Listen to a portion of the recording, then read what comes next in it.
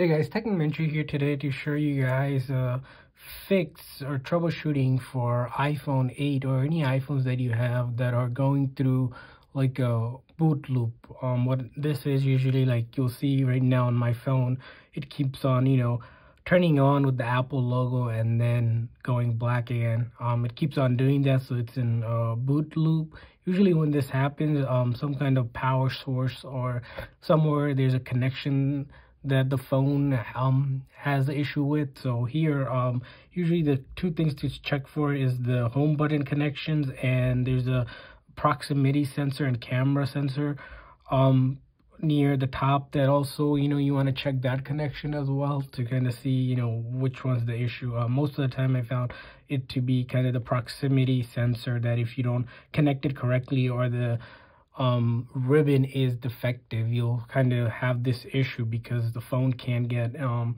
properly charged. Um, it'll just keep on doing that. Um, so let's go ahead and take a look how to troubleshoot this. First thing you want to do is kind of, um, as you can see, um, try to turn this off. Um, the only way to do it is kind of put in like a DFU mode. So we'll go ahead and um, press and release the volume up button and then the volume down button and then hold the power button and that should um, put the phone in uh, DFU mode. So keep on holding it down um, and let it go once it goes kind of black. Once um, it stops to, doing the reboot, that means the phone is um, completely powered off.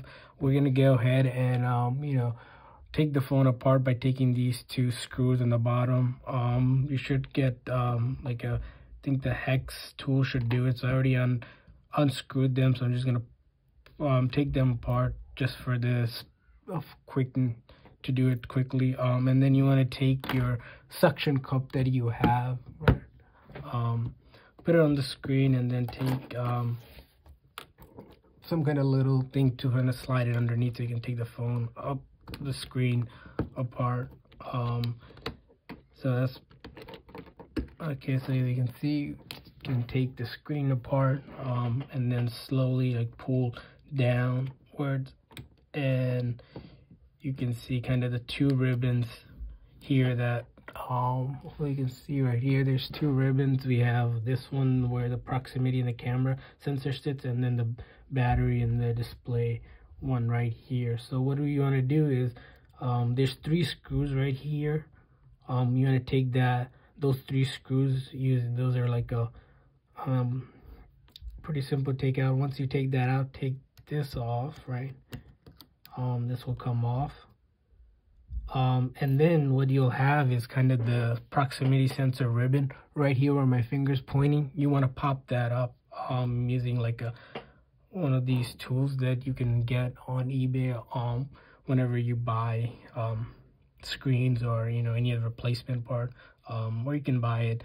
Um, check out the link in the description. I'll include to kind of get these tools on eBay. Um, so we'll go ahead and gonna pop this ribbon off very gently. You don't want to um, damage anything.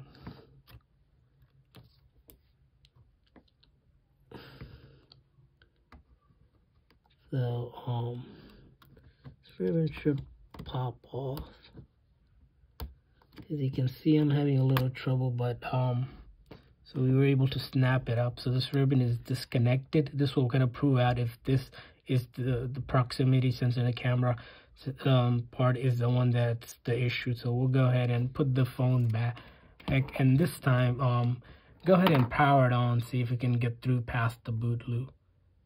So uh, I'm holding the power button. Um sometimes you might have to connect it to like a direct power source. If it doesn't turn on. Because we did put it in a DFU mode. Um, and that way it should kind of start um, so right now we see the Apple logo come up. Um, after we see the Apple logo we should this time it should take us to kind of uh, the home screen and not do the boot loop um, that we saw before. As you can see it did take us to the home screen and we're not in that constant boot loop hopefully this kind of helps you guys you know if you guys having issue the other thing to troubleshoot if that's not the one i would do is um the home button one which is um straightforward um if you take the home button out here right here um, and take unplug the ribbons there. Um, there's some videos on YouTube on my channel or other channels where you can kind of see how to do that. Um, hopefully this video helped. Um, make sure to hit that like and subscribe button. Um, thanks for watching, guys.